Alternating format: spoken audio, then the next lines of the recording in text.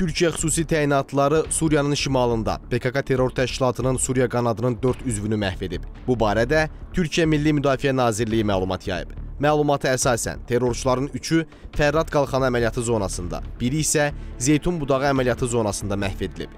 Bildirilir ki, terrorçular Türkiyə hərbçilərinin nəzarəti altında olan ərazilərə hücumlar planlaşdırmışdılar.